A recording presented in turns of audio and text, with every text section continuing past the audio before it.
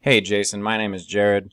I work with Eddie, and what we're going to do is we're going to go over uh, just three things to help you get ranked on Google when you're ready to get that website built. All right, so first thing we're going to talk about is the content and the reasons why we want to be uh, found for content.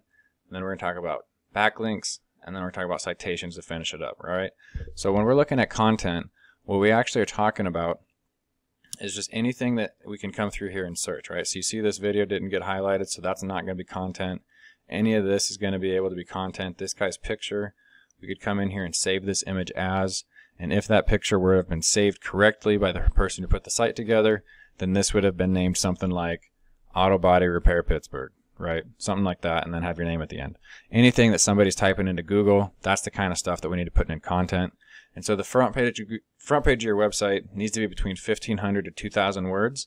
And the reason why is just because when you think about Google, its whole premise is based off of somebody coming in and typing in three or four words and then finding what they want, right? So when we think about how does that even happen, we it's the reason it, or how it happens is because when they search for that word, it's because we have those words in our website, and so you're getting found by matching content with content, uh, and it it's just that Google's really good at doing it, but it really isn't that um, far of a stretch of the imagination, right?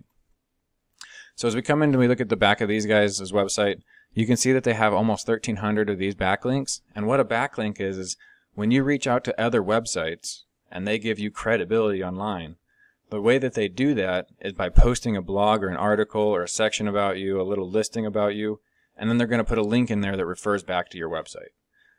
And when they do that, whatever credibility they have with Google then gets associated with your website. So if you reach out to shady websites in the back alley, they're gonna Google's not only not going to give you much credit for that, but sometimes they're going to flag you as another one of those shady websites. And so what we want to do is go out, we want to reach out to reputable websites around the internet that Google trusts specifically, and we're going to reach out to them and try and get uh, your content and your website linked um, onto their website, right? And so that's how we go out and we attack these things. We don't necessarily need to get 1,300. What we need to do is we need to reach out to more than 33 websites and get on there and make sure those websites are of quality, uh, reputable sites, right?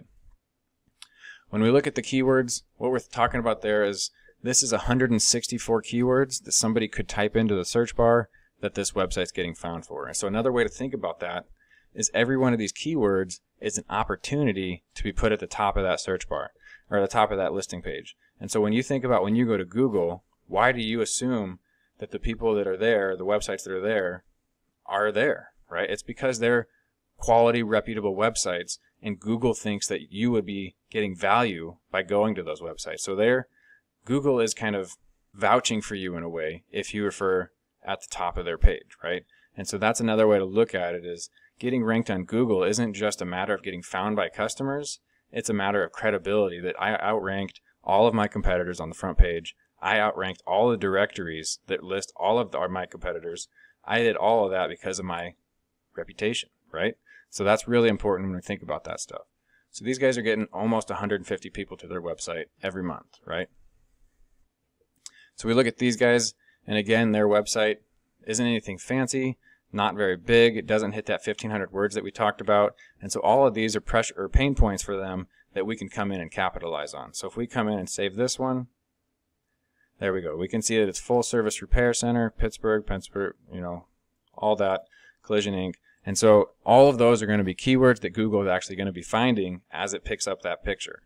And so that's something to keep in mind again as we build out the website, as we put content on there and pages or pictures, that we want to go ahead and optimize all that so that way we speak to Google. So as we go into the back of the website here, you can see that they're sitting at a 17.0 and like I had mentioned earlier, when you reach out to websites and you're getting um, low reputation websites to be referring back to you, it's not only not going to help, it's going to hurt you. And so even though these guys are sitting at almost 800 of these backlinks from 16 websites, Google's giving them a zero trust rating.